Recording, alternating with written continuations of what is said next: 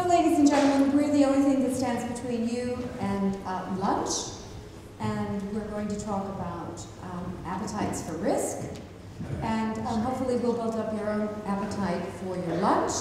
But um, I think it should be a pretty interesting uh, discussion. I'm absolutely delighted with the quality of the panel. We have some very illustrious individuals in front of you now. Um, and it's quite a great mix of expertise. So I think I'm just going to go through the panel first and give you a little bit of background why I say it's such a great mix. First of all, we have Simon Foster, who represents a single family office. We have John Veal, who represents a Fleming Partners, which uh, manages, uh, looks after over 250 families, if I'm not mistaken. And we have Yariv, uh, who has a bit of a hybrid bread operation insofar as there's one principal family behind this asset management group that only looks after the assets of a handful of other families. So I think it's quite a diverse um, mix, and I think we should have a pretty interesting discussion. We certainly did when we had our, our telephone call a couple of weeks ago. So um, I think if we begin first by asking um, each of the panelists, and we'll start with Simon, uh, to give one or two sentences only just about your own investment philosophy, and then we'll drill down there. So what is your approach to investment? And Great. Thanks, Marta. Um, good afternoon, I'm Simon Foster. I'm CFO of T. Whitehead Junior Family Office. Um, I think today we're talking about risk within portfolio. Um, I think from my perspective, the way we approach risk is I look at it that we're a knowledge-based investor. I think all family offices are unique. Uh, it's been my pleasure to be CFO of three of them, and I think all of them have worked completely differently from each other in terms of appetite, investment structure, and vehicle structure.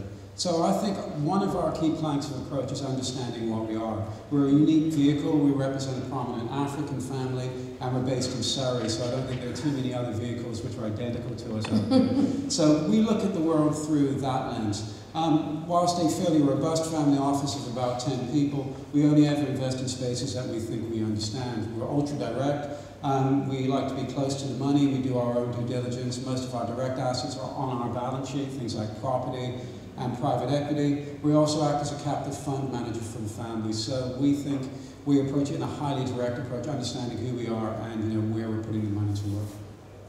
John.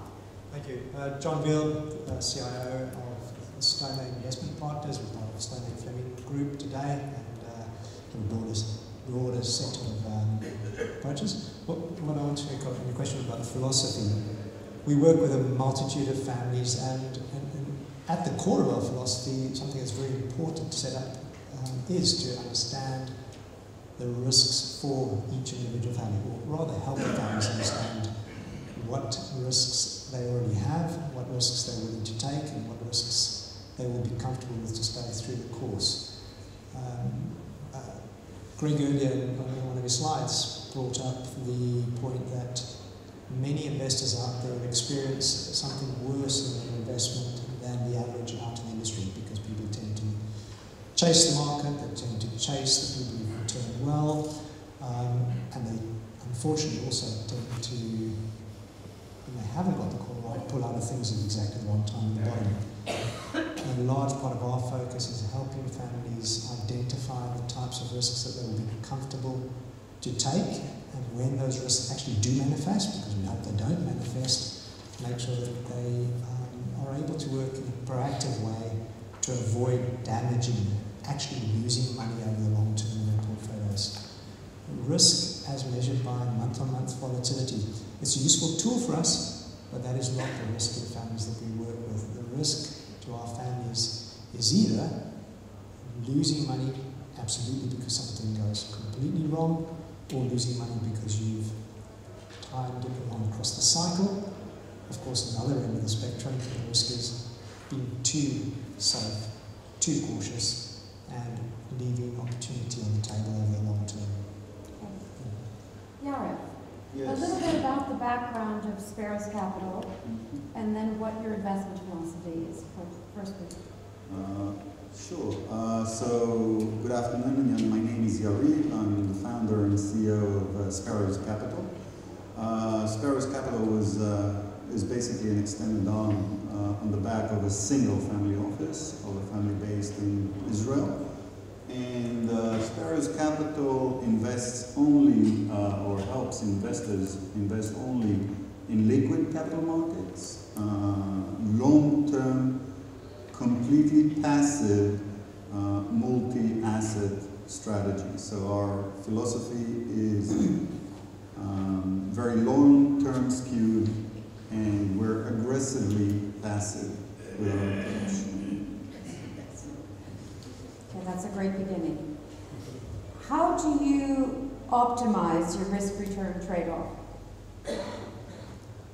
Interesting question. I mean, I, I, think for us it's all about knowing what your goals are. I think, you know, all of the whole risk return matrix begins with understanding what you're trying to set out to do. Although we're a fairly esoteric family office representing an African family, a lot of the core of the family work is in what most people perceive as a high risk environment, i.e., Nigeria.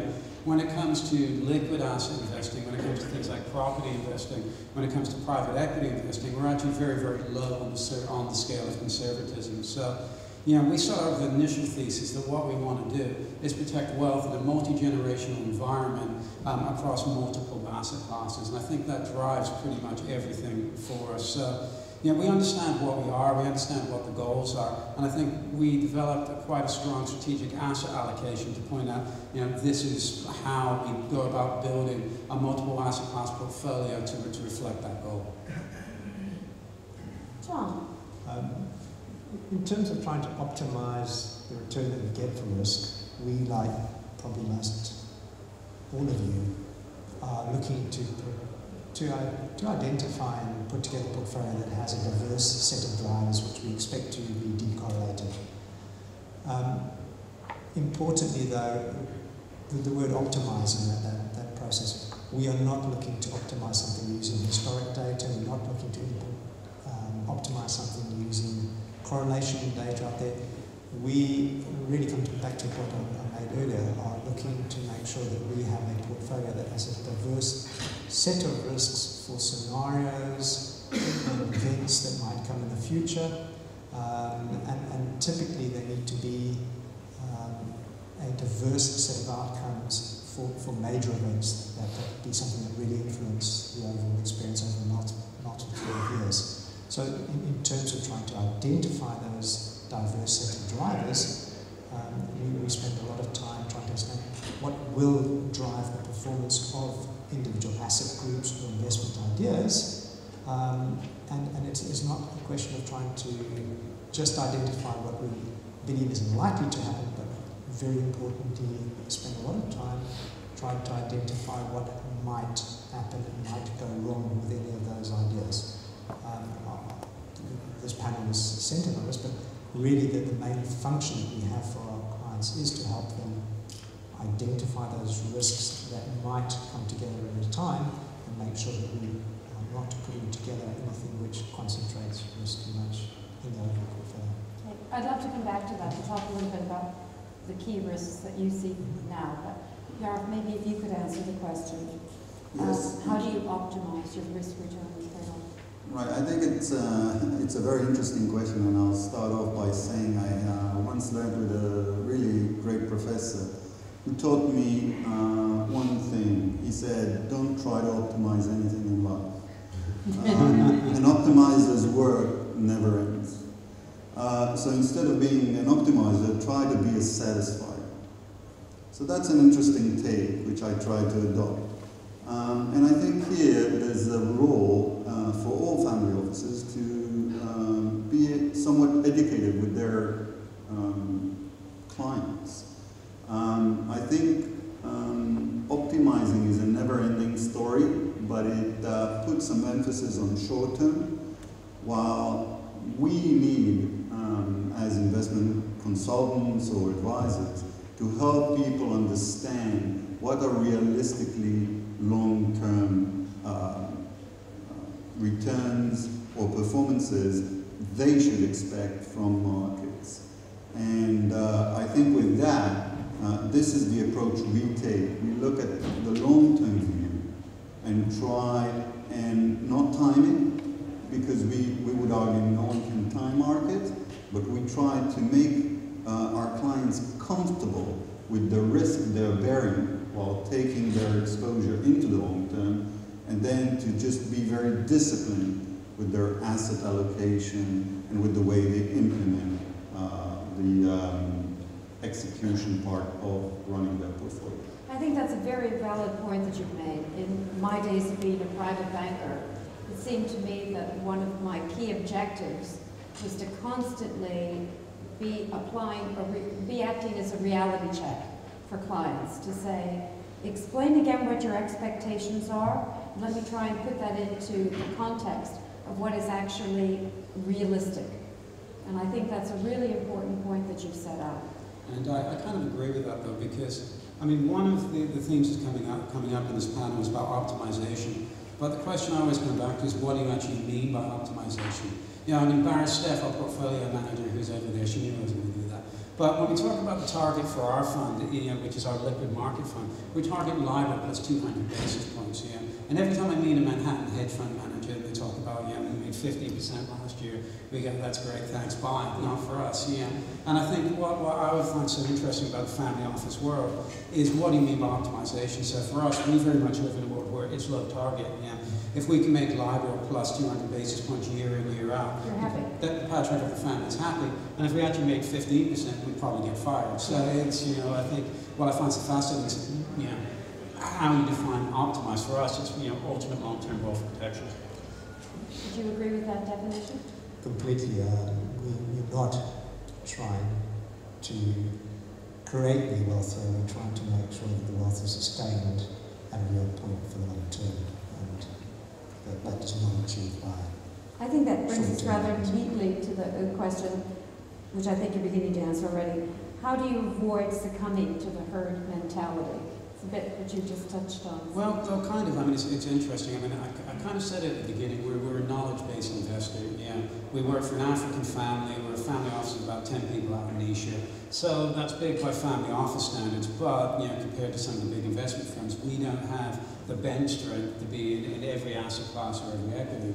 So what we do is we, we invest what we know. You know, when it comes to property investing, we invest in three geographies. We invest in neighborhoods that we understand from a street level, and we invest in the neighborhood where, where the family office is. So we gravitate towards investing in areas that we think we understand at a, at a fundamental level. Somebody asked me the other day, don't you leave money on the table? And I, yeah, I think we probably do, but by the same token, you know, our goal isn't to punch the lights out, it's to invest in a very, very disciplined, a very long-term manner, um, in a manner that supports, you know, the preservation of wealth across multiple generations. And our goals really aren't about ultimate return at its, at its for its own sake. But also, I mean, you can afford to leave money on the table, if I understand correctly, the background of the family, that um, your pa- patriarch still has, is generating cash. So for you, isn't part of the challenge that you're getting additional asset flow into the family office structure Yeah. that you are subsequently putting out to work? Well, that, that's, that's an interesting point. I mean, because I, often debate internally whether we're a top-down strategic asset allocator investor or we're a ground-up knowledge investor. And I think I've, I've reached a hybrid solution in my mind in that I think it depends on asset class. Yeah. And we talked about, you know, risk and return. But I think for an entity like us, in some ways, it's very, very hard to have a global view around that. Yeah. Because I think, you know, we're quite cohesive when it comes to the liquid assets, we come to the property assets and those kind of things, but I think we can get a little punchy when it comes to things like the private equity assets and some of the families investing activity in industrial concerns in Africa. You know, different horses for different courses. Just a quick point on that. Um, If I understand correctly, Simon, you don't co-invest, it's all, Well, I mean, that's, that's interesting. We, strangely, this is my third family office, not quite sure how that happened. Um, I'm, I'm a big fan of co-investing for family offices in the right environment, um, but for me, it, it, has, it has to be the right environment. And I think a common theme for me really is with the three family offices I've been involved in, there's lots of industrial concerns. I think co-investing has its place, but for me, I've tended to gravitate towards co-investing being done by portfolio companies rather than co-investing being done by the family office. And the reason is, you know, for me, I mean, you know, one of the, my first family office were heavy in automotive. And what I liked about that meant that we had automotive expertise within the portfolio company. So if a co-investing deal was coming along, we'd gravitate to using a strategy like asking the executive management team of the auto company to go and have a look at it. They're better placed than perhaps I would be as, as CFO of, of the family office. Here, let's go back to the original question I just asked a few minutes ago. How do you avoid succumbing to the herd mentality? Uh, I think this is a very important question because, um, quite frankly, one of the biggest uh, impacts that any portfolio will have is due to uh, psychological effects, uh, financial, uh, behavioral finance. And we will find that um, when, when you know, things become very rosy, then people start hurting. And when things get gloomy, then you know, people start feeling fearful. And we have been investing in a very passive manner for the past almost seven years now. So we went through the cycle, the latest cycle, and we saw exactly to what extent that may, uh, may lead us. So the, the, important thing here is one, um, to be very disciplined. If you cannot sustain discipline, then all strategic planning you have in place will become very, very tactical in a very quick manner. And trying to become tactical bears a lot of risks risks of timing markets and risks of you know, losing control of your asset allocation. So that is number one. The number two factor here is to, again, um, educate your investors. Make sure they are knowledgeable. I remember um, having a discussion after the financial crisis, I think it was roughly 2012, with one of the investors um, I work with. And he came to me having seen what the disciplined approach and, and systematic rebalancing did to his portfolio. And he came to me with a great insight. He told me I'm actually protecting him from himself. Yeah, it's a very good point. And, uh, you know, I, I don't suspect a lot of investors to come to you and say that in the manner he did with me. But it is to some extent true. Uh, investors succumb to the psychological biases, and unless we can implement a disciplined approach which uh, favors long term, um, we will, you know, we will succumb to the same uh, issues as they do. I think it's a really good point. John, do you want to add anything on this business about herd mentality? I, I'll just uh, nodding away there in terms of protecting us. I, I think often people look at us, to, to your point, um, clients sometimes will look to us to expect them to tell them what we expect the markets to do. And I completely agree. In the short term, we do not think that we have got any sort of edge in calling the markets and adding value. And, and I see our job often has been um, maybe with a different approach to just a pure, pure rebalancing approach is tell people when they're getting too excited about things that it's time to get less excited, to stop them adding to those areas, and when they get too pessimistic and too despondent, just tell them it's actually time to do something something different. So um,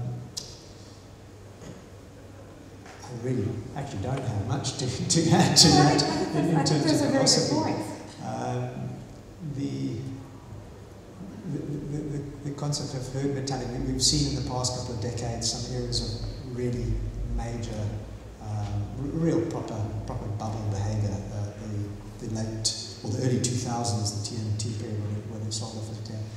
Um, to, today, today we're not seeing that, that passionate excitement into a specific area and we don't, we're not identifying a sort of broad investor period of excitement. But the, the one area that, that we do continually remind our clients and ourselves to be aware of is that an environment where yields and uh, yields across asset classes have been uh, suppressed quite tremendously in the past few years is that it is important that you stick to the level of risk that is appropriate for yourself and not to target returns by moving up and up in the spectrum in a period like this. We don't know for how long that period might last or might not last, but our key job here is to help you set the right level of risk and manage the risk appropriately so that we don't end up in those situations. One last question, and then I'll open up um, the discussion to the floor. Um, what are your views about, we, we had this chat when we spoke together, views about outsourcing risk management to third parties? I know you all feel pretty strongly about this, so this will be interesting. Um, Yariv, do you want to kick off? Um, sure. Um, I think that there are certain things that all investors, uh, and it doesn't matter if they have consultants or family offices or asset managers like ourselves, there are certain things that they cannot outsource. They simply as? can't. And I think two main things here, which I would emphasize right now, is one is the, the risk management. Only they can uh, help build their risk profile and their risk appetite. And one needs to be very cautious with having a third party defining a risk profile for oneself. And the other thing, by the way, I would mention is ownership. Um, I would suggest investors not to third party the ownership part of their wealth. I think long gone the days of people coming to investors and telling them, you should put your money with us and don't worry about it, come back in five years, we'll give you exceptional returns. I think uh, these days are over, and I think investors should be much more cautious these days with turning ownership over their wealth.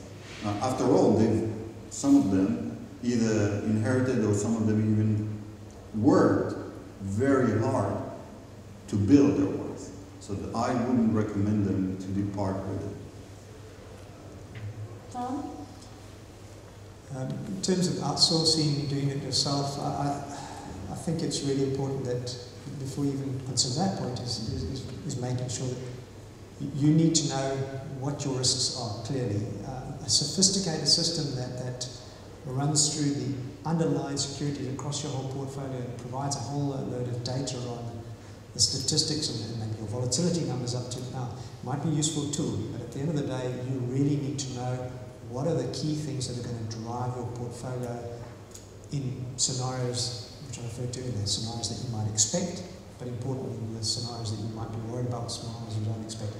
Um, for us, that means that we need to keep that in-house, we need to be doing the work ourselves, we need to know not, not just our allocations across asset classes, currencies, and liquidity, but also um, the, the, the response of our portfolios to certain factors that, that we think are important or major on our portfolios, and importantly, the response that our portfolios might have to factors if events change.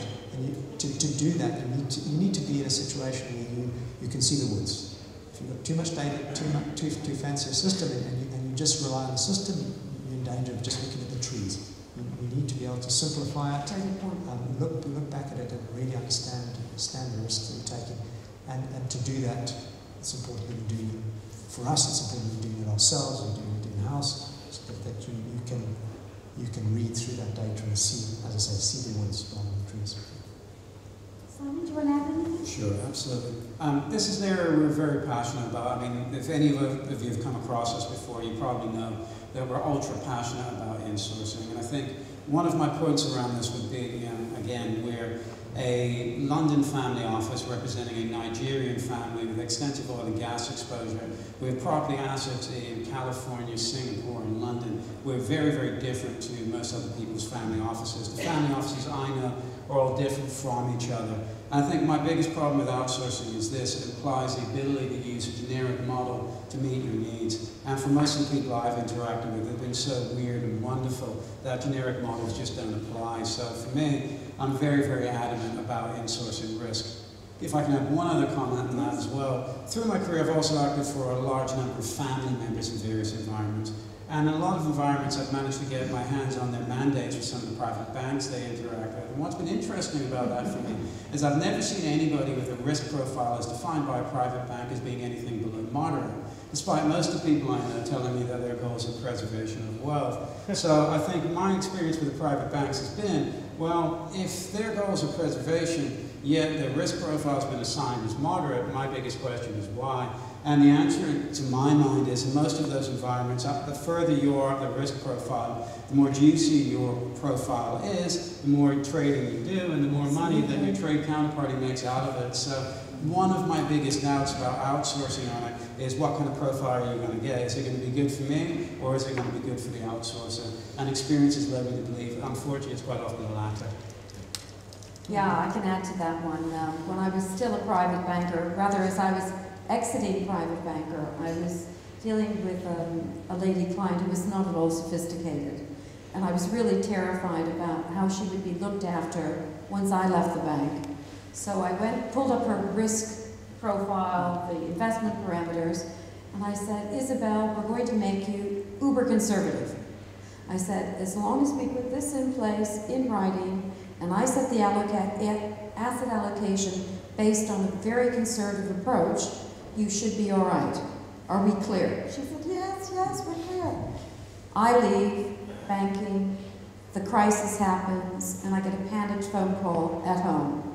In tears, same lady. And I said, well, how is it possible? I said, you know, I left you in very good nick 18 months ago. You know, there's, there's no way. And I, there's a dramatic pause, and I said, don't tell me you let them change your risk appetite portfolio. She said, yes. I was moved from conservative to moderate. exactly what you said. And I said, that was the time you should have picked up the phone to me, because I could have stepped in then. But the reality is, if the portfolio management is in line with what you allowed yourself to be talked into, my hands are tied. So I think that was an excellent point to make. Now, we only have a few more minutes, but I'm sure you're all burning with questions, particularly because you have such a great panel. Yes, I'm sorry, I didn't know your name. Could you tell us who you are? Yeah, thanks. I am a I'm sorry, could we have the volume?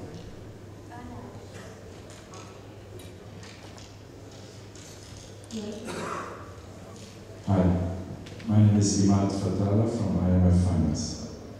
Um, a question to all the panel. I've heard like uh, capital optimization, uh, aggressively passive, capital preservation.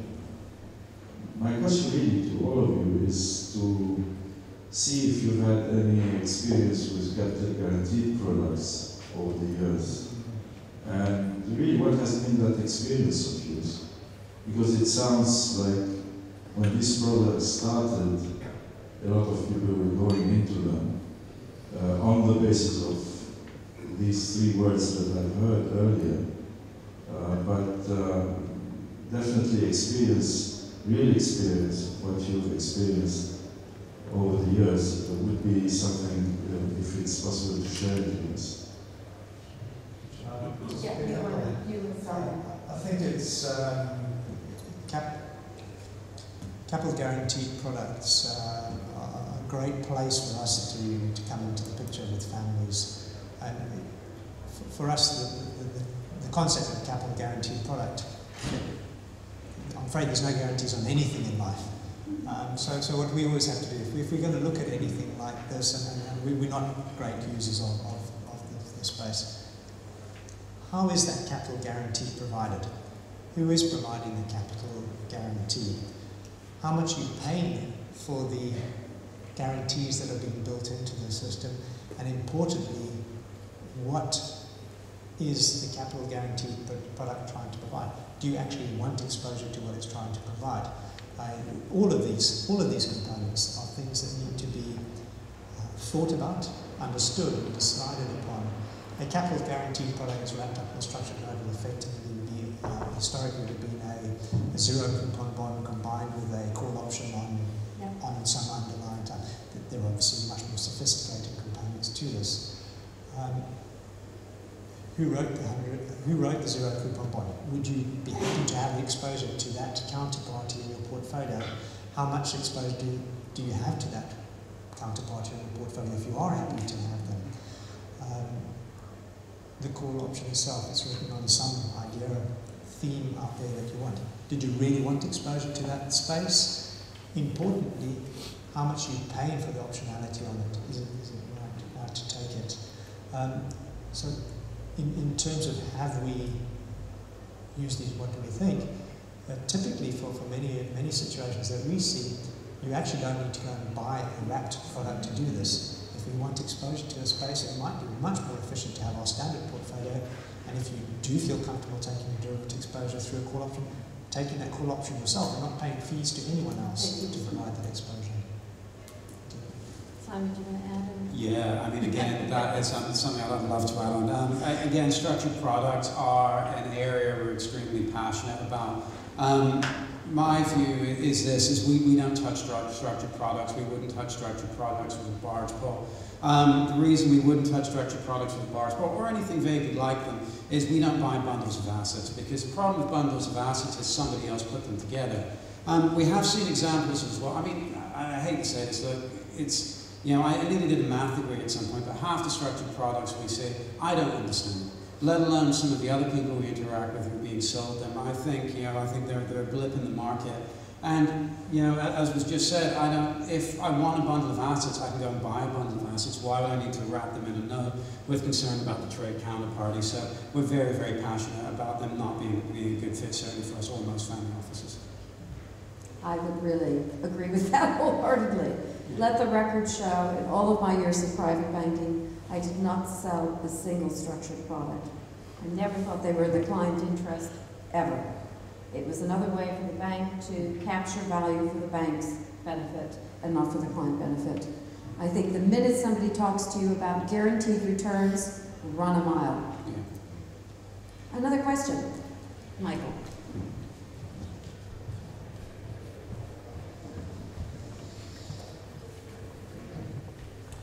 Excellent panel. Uh, in periods of uncertainty and, um, shall we say, fluctuating paper currencies and government bonds with negative yields, do you see a place now, or increased place now, for precious metals? And another, sadly unloved liquid asset, much loved by myself, maturing casks of whiskey.